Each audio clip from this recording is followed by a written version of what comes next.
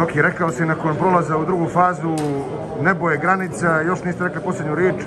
Vidjelo se i danas zbog čega? Pa, niste vjerovali o čemu se radi.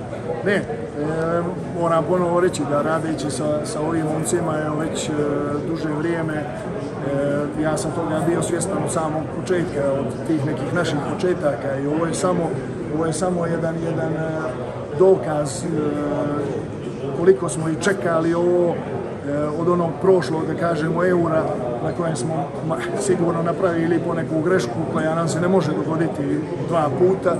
Tako da, ne znam, mislim da su ljubitelji rukometa uživali u ovoj, u ovoj našoj partiji, jer e, kažem, sve ono što zapišem na, na, na list papira ili na tablu, Draško i ja, ovaj, ne znam, to, to ljudi tako, tako fino odrade i, i za, to, za to sam ponosan što imam, e, imam tu čast da radim sa ovakvim momcima i kažem, ovo je i dalje smo na, na, na početku, ono, mašina se upalila i samo idemo dalje. Igrate sjajno, svi daju doprinos. e, Danas lekcija jednoj velikoj Hrvatskoj, e, treća vezana pobjeda.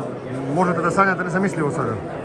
A dobro, mi, ja ne znam, evo, čim dođemo do slačionice, ovaj, takav je dogovor na ovom prvenstvu, da čim se završi utakmica, prestajemo, ne, ne ostajemo mislima u ovome, e, bilo je super stvari, sve ćemo to pogledat, e, pogledat ćemo što može još bolje i okrećemo se odmah narednom protivniku, jer e, to je najvažnije u ovom trenutku, odmah da razbistrimo glavi, da se prebačimo na nove zadatke, na novog protivnika i siguran sam da će to opet izgledati kao i danas.